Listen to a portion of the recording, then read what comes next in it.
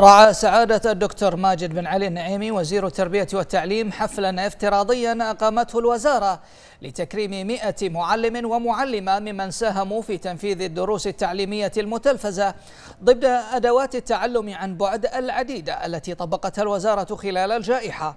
كما تم تدشين كتيب توثيقي للجهود المبذولة من قبل المختصين بالوزارة والكوادر التعليمية في إعداد وتنفيذ هذه الدروس. بالتعاون مع وزارة شؤون الإعلام. في حفل افتراضي أقيم لتكريم مئة معلم ومعلمة ممن ساهموا في تنفيذ الدروس التعليمية المتلفزة. استذكر سعادة الدكتور ماجد بن علي النعيمي وزير التربية والتعليم بالفخر والاعتزاز الإشادة الكريمة من حضرة صاحب الجلالة الملك حمد بن عيسى آل خليفة عاهل البلاد المفدى حفظه الله ورعاه.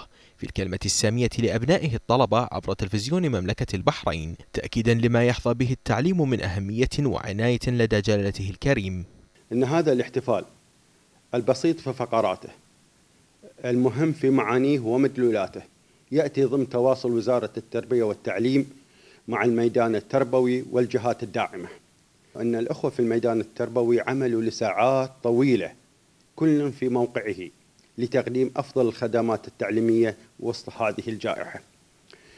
هناك نقطة تسجل للتاريخ بأن الكلمة الملكية السامية لسيدي حضرة صاحب الجلالة الملك حمد بن عيسى آل خليفة عاهل البلاد المفدى حفظه الله ورعاه التي تفضل بها ووجهها لقطاع التعليم.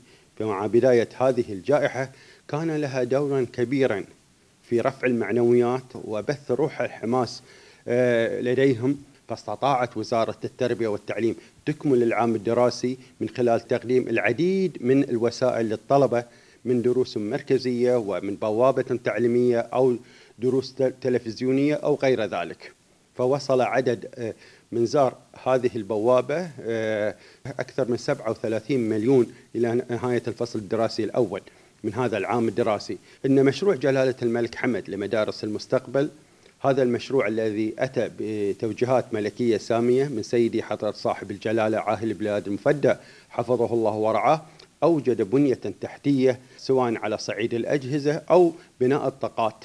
فالشكر والتقدير للجميع وأخص بهذه المناسبة أيضا الأخوة في وزارة شؤون الإعلام من سعادة الوزير والأخوة العاملين في هذه الوزارة الموقرة على تجاوبهم. مع وزارة التربية والتعليم في مجال بث الدروس لأبنائنا الطلبة في فترة طويلة آه، وهذه جانب مهم أسهم في إيصال الخدمة التعليمية لمن يحتاج إليها. نسأل الله تعالى دائما لوزارة التربية والتعليم ولوطننا العزيز قبل ذلك المزيد من الازدهار والتقدم. وأضاف الوزير أن الوزارة قد أمنت استدامة التعليم والتعلم من ناحية والتقويم المستمر لأعمال الطلبة من ناحية ثانية وضمان الرقابة على أعمال المدارس من ناحية ثالثة إذ تمكنت ولله الحمد من توفير خيارات تعلم متنوعة وملائمة لجميع الطلبة من خلال الإمكانيات الكبيرة التي وفرها مشروع جلالة الملك حمد لمدارس المستقبل من حيث الموارد البشرية المؤهلة أو من حيث البنية التحتية في المدارس أو تجربة التعلم الإلكتروني المتطورة.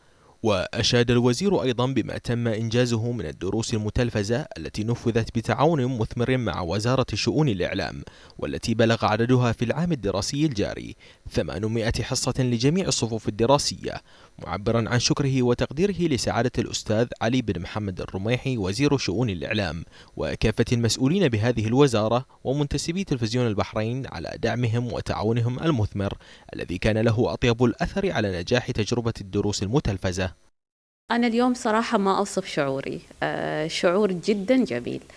آه شعور يحسني بالفخر أني قدمت آه بصمة آه جدا جميلة ورائعة في خدمة وطن أعطى الكثير. آه، جهود جبارة بذلتها وزارة التربية والتعليم والأخوة والأخوات من وزارة التربية آه، في تسهيل عملية التعليم والتعلم خلال الفترة الماضية. كنت وايد سعيدة بالتكريم اللي صار اليوم. كانت التجربة اللي أخذناها في الدروس المتلفزة كانت تجربة وايد حلوة. جميل أن تحظى بمن يصقل مواهبك ويقدر إبداعاتك هنا. نعم في مملكة البحرين ومع وزارة التربية والتعليم.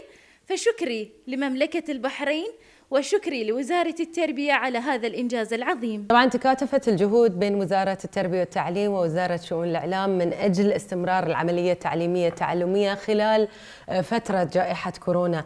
طبعا جاء ذلك بتوجيهات من سعادة السيد علي بن محمد الرميحي وزير شؤون الإعلام اللي أصر آه، على توفير وتسخير جميع الإمكانيات سواء كانت لوجستية هندسية آه، فنية من أجل تسجيل هذه الدروس التعليمية وبثها على قناة البحرين الرياضية الثانية لتكون منبر من المنابر التعليمية اللي رجع لها عزيزنا الطالب من أجل استمرار عملية التعليم في مملكة البحرين. وفي ختام كلمته أوضح الوزير أن الوزارة قد اهتمت باستدامة تدريب المعلمين حيث تم طرح 270 برنامجا تدريبيا استفاد منها أكثر من 12 ألف موظف وموظفة بالوزارة في العام الدراسي الماضي مع الاستمرار في التدريب عن بعد عبر طرح 149 برنامجا تدريبيا ضمن الخطة التدريبية للعام الدراسي الجاري.